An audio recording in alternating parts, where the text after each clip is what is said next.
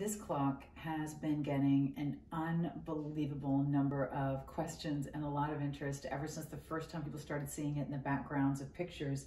It's this beautiful, rich, gorgeous clock that looks like it came from a study or a ship. It actually says ship's time on it, which is very cool.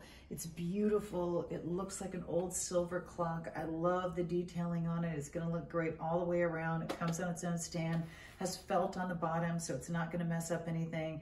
This is just the most beautiful finishing touch for anywhere in your home, from a side table to, again, a kitchen island, to a coffee table, to an entryway, to a nightstand, to anywhere in between. I love decorating with beautiful clocks. I know a lot of you do too, and I guarantee if you want this one, I would grab it quickly.